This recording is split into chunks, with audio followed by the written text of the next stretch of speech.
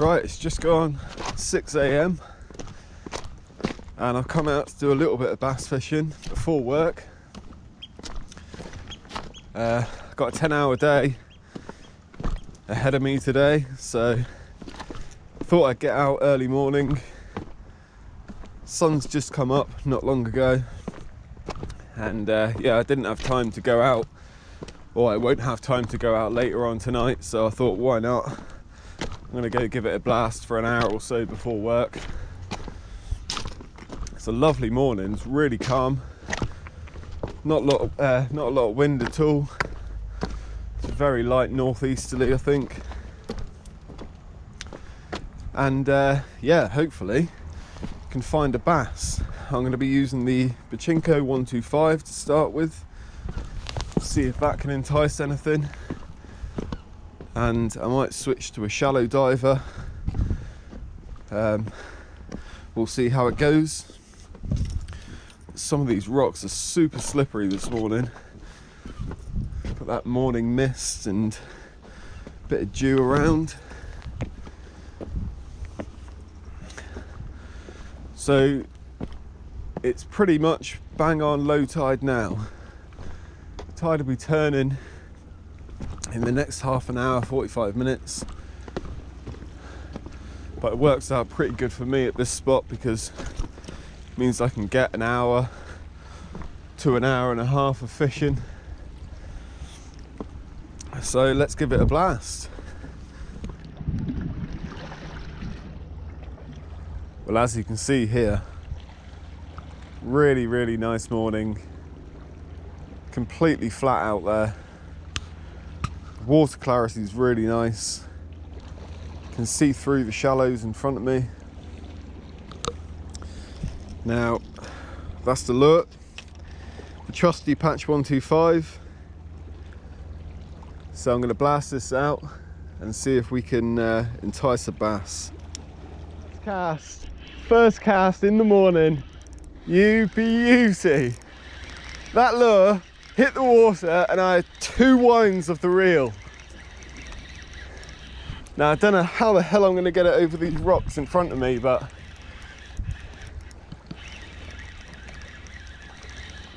here it is. Unbelievable. What a call that was to come down here. What's that on the line? Oh, it's just got a bit of weed on it. But look at that first cast. Oh my God, what a start to the day.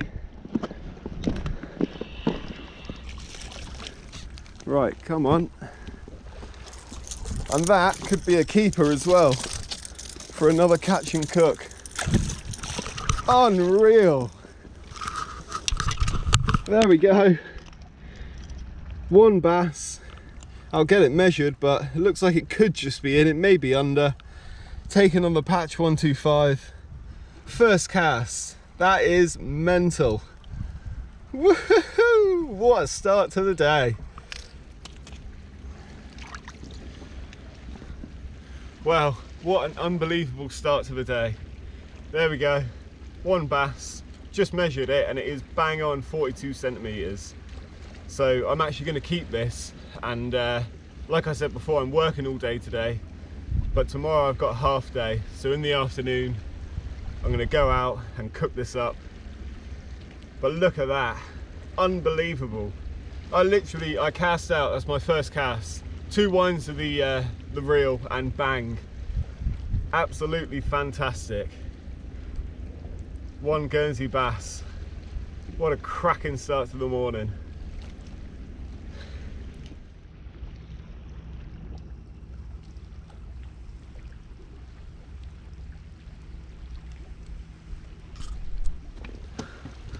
that was definitely worth getting up for. Now, one cast in, one fish. So I'm going to get it back out there, see if we can find another.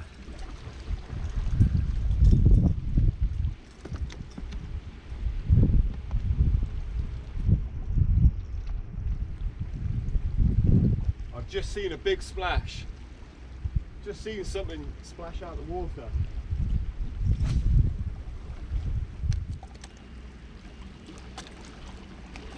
Well, just before I cast out then, I just saw a splash in the distance. So there's definitely more fish around. Well, I thought that was recording the whole time. Turns out it wasn't. Pressed the wrong button on the camera. But there we are. Bass number two. Smaller this one. This one's not a keeper. This one's going to be going back. And I only wanted one anyway, so if I get any more, they'll all be going back. But I've been seeing uh, splashes in the distance. And this one took pretty much the uh, same spot. There's bass number two for the morning. Let's get him un, uh, unhooked and back in the water. Right, bass number two. Just a small one that, so I'm going to get him back straight away.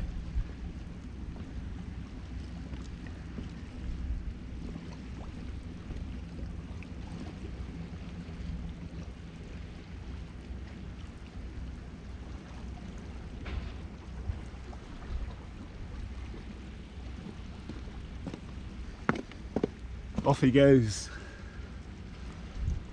Ah, it's a shame that. I thought I had the camera recording, so I missed the take on it. But I'm going to ping this back out and hopefully find another.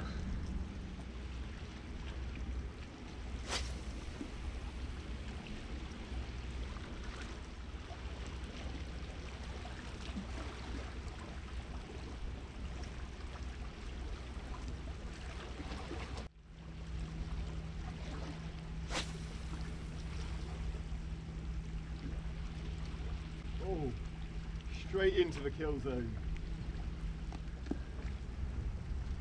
Well, I keep seeing big swells on the surface. Now, I'm not sure, it could be bass and mullet. Just had one cast out there and it landed straight on a group of fish and they all darted off. So there could be mullet in amongst everything. Um, but yeah, I've, I've still got about 45 minutes until I have to leave, so I'm going to keep going and see if I can pick up another one.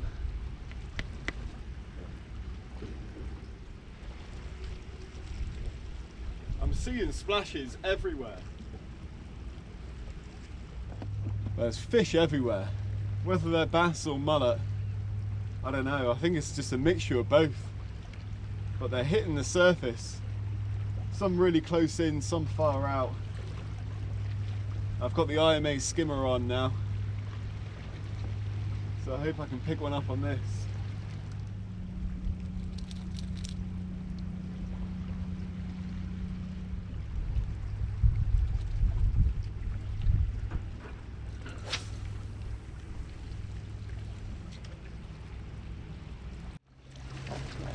Right, I think that's going to do it now.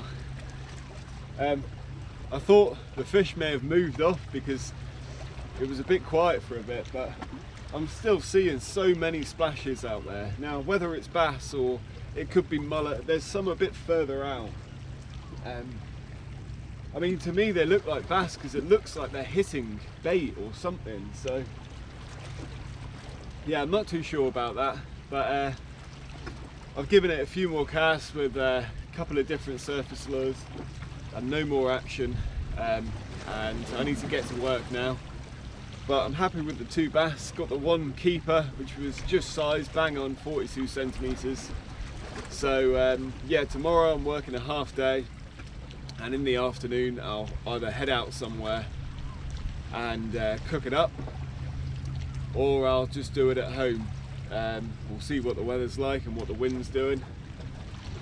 So yeah, I'll see you tomorrow in the kitchen.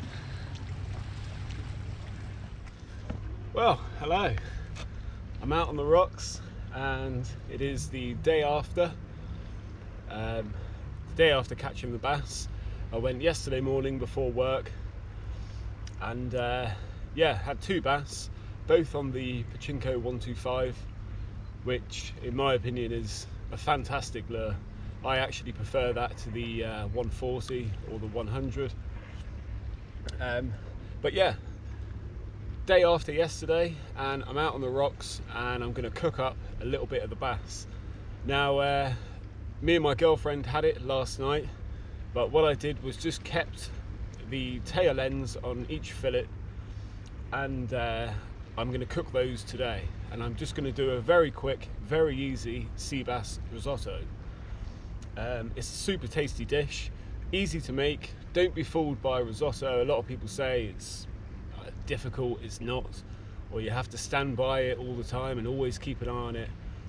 You don't have to do those things. As long as you moderate the heat in the pan, you just keep an eye on it and uh, it cooks in roughly 20 minutes. So I've got a little burner with me and I will start by cooking the risotto. Once that is nearly finished, I'll pan fry the bass and then uh, I'll plate it up and show you how it's all done. So hope you enjoy it. I'll get on to cooking now.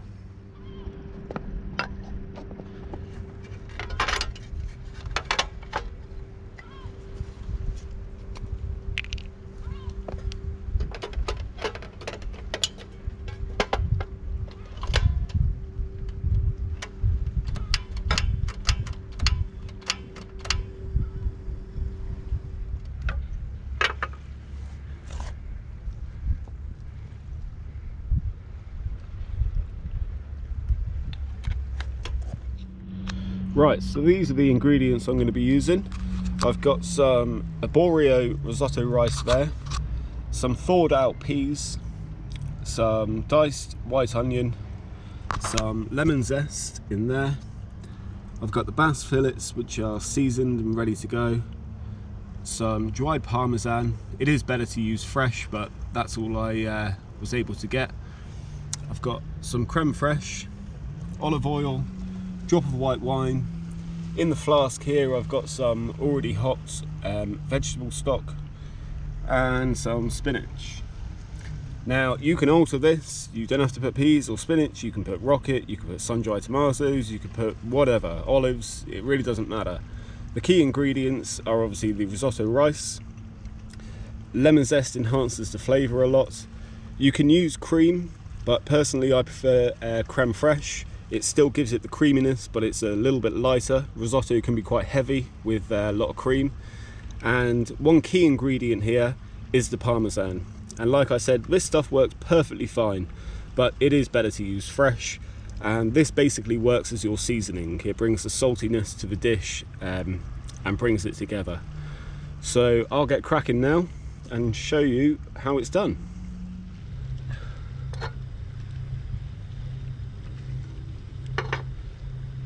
Right, okay, so in this pan I have the olive oil and I've just got that on a steady heat and that's heating up ready for the first ingredients to go in. Now it's a bit of an awkward camera angle here, I'm kind of on a ledge and have to bend down but I'll try and do my best with it. Now first of all, I'm going to go in with the onion. If I don't spill it everywhere. You just want to keep that on a you want a nice steady heat throughout the whole cooking process. Um, you want to saute the onion and just make sure that it's translucent so no color to it. You want it to keep its natural color and just basically to soften first. Now this will take about not long, about two minutes. And if you add, if I can find it, some salt to that. Just going to turn that down a little bit. The salt is going to draw out the moisture in the onion and soften it quickly. Now this is a really easy thing to do, risotto, and once you sort of master it, you'll be making it all the time because it's so versatile. You can add anything you want to it really. Uh, depending on what you're cooking it with, you can you can really add anything to it. Just the key ingredients really are the creme fraiche or cream if you're using it, parmesan, and you like that little bit of zestiness in it as well. Um, but yeah, it's such a versatile dish. Now, these are nearly ready. So what I'm going to add now is a splash of white wine.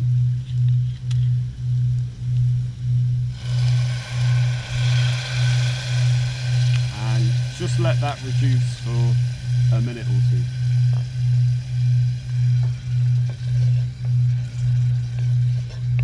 Now you don't have to use wine in it, but a, tree, a uh, traditional risotto will have wine in, but it isn't a necessity really. It does enhance the flavour, and you do notice it. So whilst that's ticking away, the next ingredient to go in will be the risotto, which I may not use all of this because I'm only making one small portion.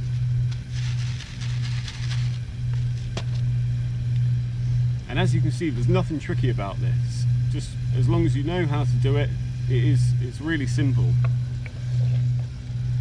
So that there is reducing. Just going to leave that a little bit longer.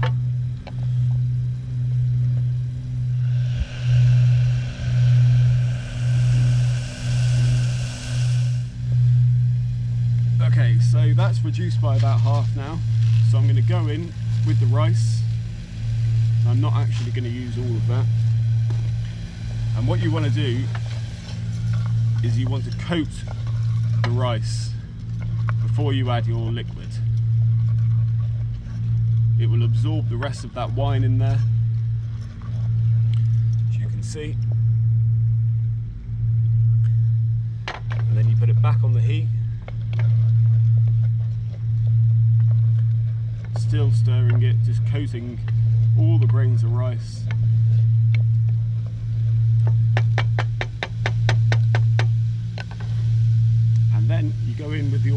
Vegetable stock. now I've got mine heated already so this should still be hot, which it is. And I'm just, to start with, putting enough just to cover the rice. and you'll be surprised how much liquid that rice can actually absorb throughout the cooking process. So I'm just gonna turn the heat up slightly and that's gonna tick away.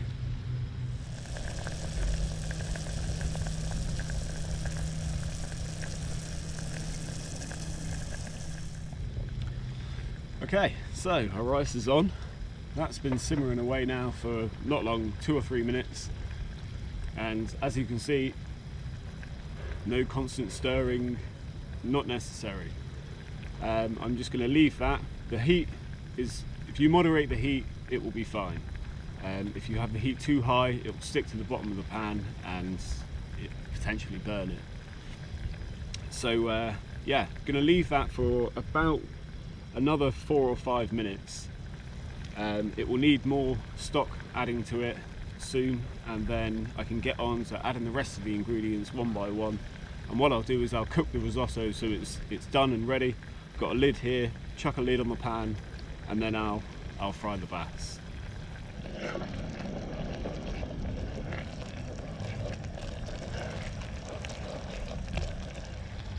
Right I can see now that that liquid in there is reduced by about half. Now the rice isn't going to be cooked yet, so I'm just giving it a little stir and then I'll add a little bit more stock and by the time the next dose of stock is gone in there and reduced the rice should be about two-thirds of the way cooked then I can start adding the other uh, other ingredients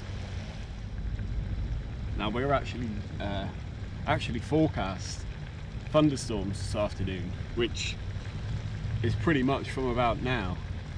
It's currently 10 past 3. They give it from about 3 o'clock according to my weather app. I can see over the east coast there, there's a lot of dark cloud around.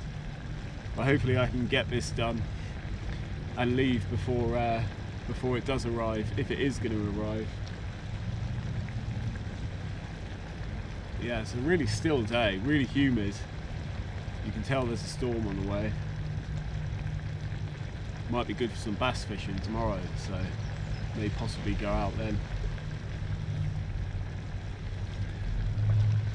Right, so I've added the second bit of uh, stock to this, and I'm just going to leave that again ticking away. It's probably been on the hob now for about seven minutes. So it won't be too too far off. And again, same heat, same consistency the whole way through, and it just ticks away nicely.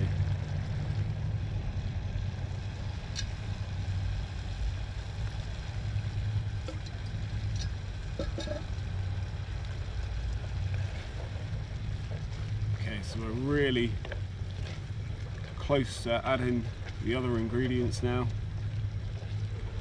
Just added a touch more stock, which don't be afraid to do because like I said before, the rice will absorb a lot of this liquid. It is, it's very surprising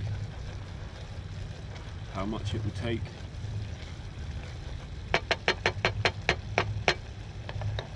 So we'll give it another minute and a half and then the first ingredient we're going to add is going to be the creme fraiche. Okay, so this is what the risotto, if that doesn't steam up, just got the wind coming in here. This is what it will look like when it's very close to being cooked. So now I'm going to get the creme fraiche in and the rest of the ingredients.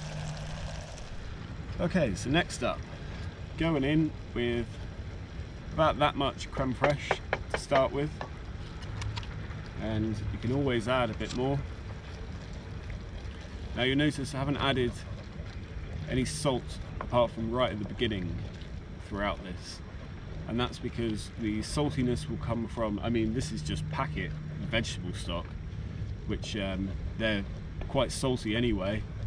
And also the parmesan is going to make it salty. So you can add salt by any means, but I recommend doing it at the end. Um, otherwise, you might just overdo it a bit. So there's the creme fraiche in. And I'll just kind of show you the consistency of that.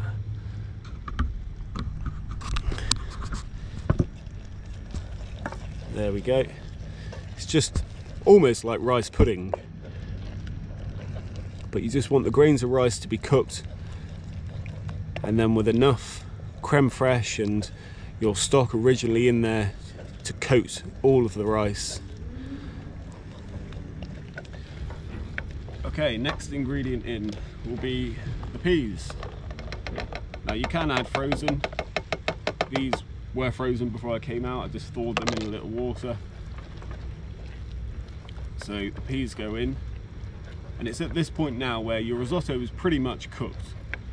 So your ingredients, which are kind of more delicate, like peas and spinach, you put in right at the end because you don't want them to cook out or overcook and start turning different colors and those sorts of things. So we got the peas in there. Next up, forgot to bring a spare spoon, is the lemon zest. You, by all means, you can add the lemon juice as well with it or serve lemon with it at the end. So that goes in. And already I can smell that. The, the lemon zest in it really makes a huge difference. Next will be some black pepper. Which I don't actually have much left in here. There's a bit that goes in. Now I'm going to add the spinach. Now it may look like quite a bit, but spinach once it's cooked down doesn't turn to much. So spinach goes in.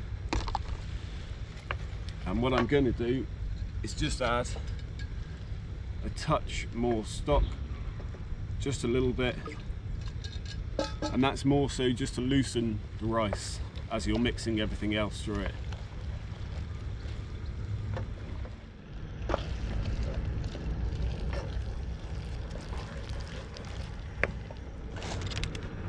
Well, it's starting to rain. Getting the odd drop now.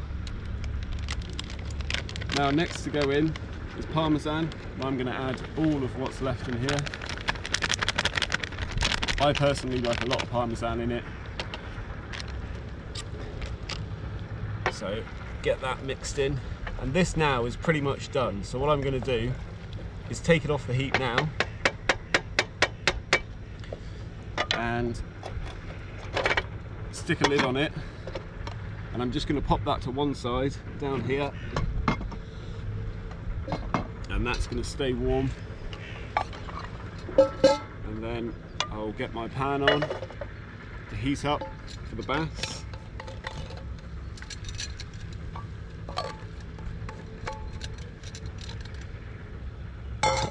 Now I started cooking that risotto at five past three and it is now, can't really see that, that's upside down. It's now 20 past. So 20 minutes to cook the risotto.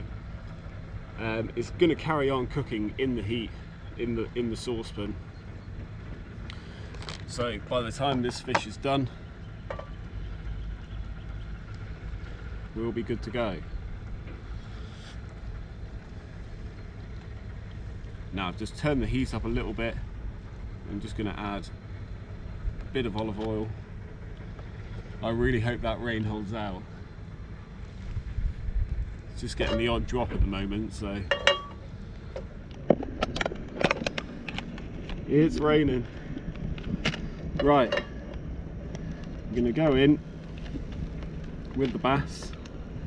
That pan could do with being a little bit hotter. one thing I did forget to bring was a cloth. Now I do apologise about this, but it has to start raining.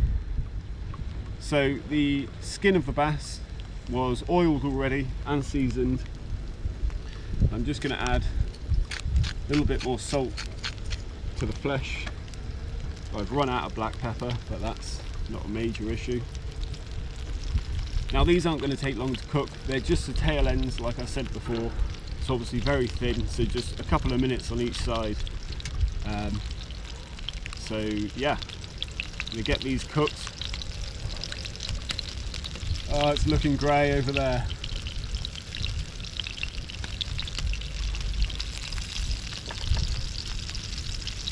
And my burner's on a slight slant here. That's why the oil's going to one side of the pan. There we go. Hopefully we can get it done, get it plated, at least get you a show of it before the rain kicks in. It's looking pretty grey. I think I might get away with it. It is kind of spitting at the moment.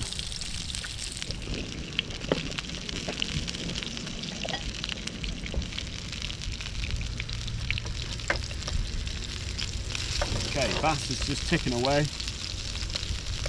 Just got the pan on a medium heat and I can see it will be ready to flip over shortly.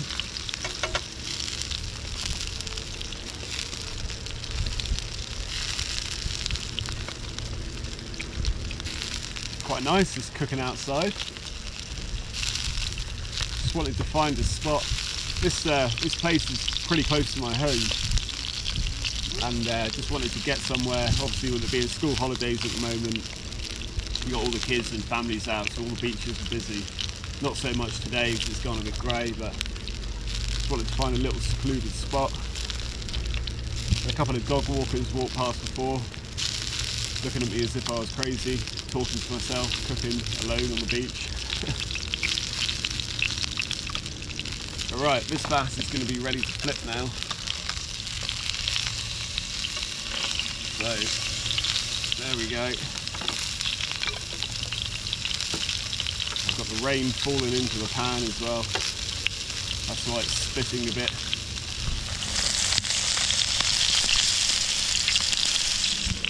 Okay, so it's pretty much raining now. Now the bass is only going to be about another minute. I've got my risotto ready, bowl out, ready to plate up. This is what the risotto is looking like at the moment. So I'm not going to put that back on the heat. I'm just going to keep the lid on the pan, keep that warm, wait for these to cook, and then I will paste it up. But I don't know if you can see on camera, my shorts and that, it has started raining properly now.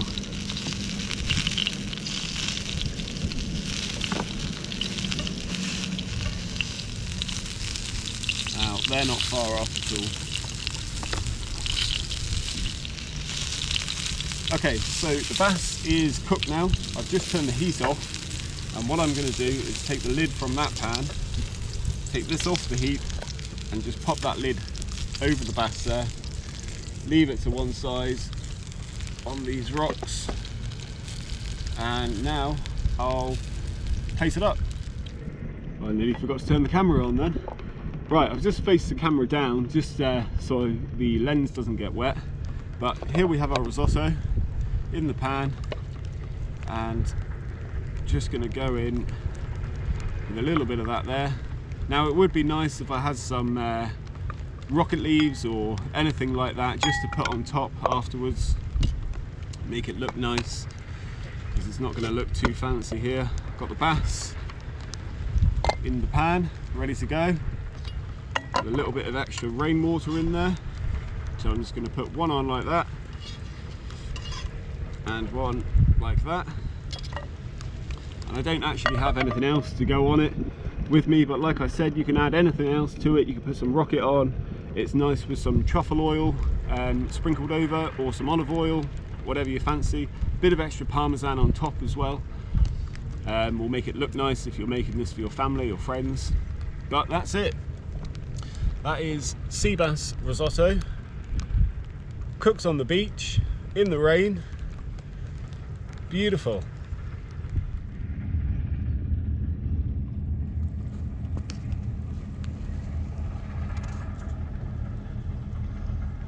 Well, there we have it.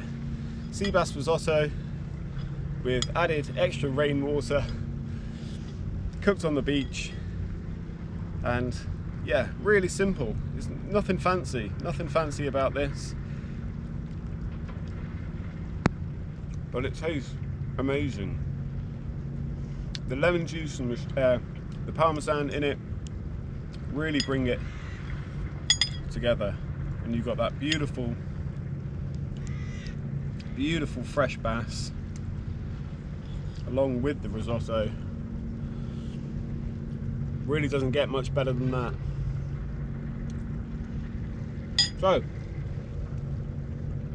thanks very much for watching um, I hope you like the videos and I'll uh, hopefully be out uh, this week doing a bit more fishing so uh, yeah, thank you very much for watching and I'll see you again.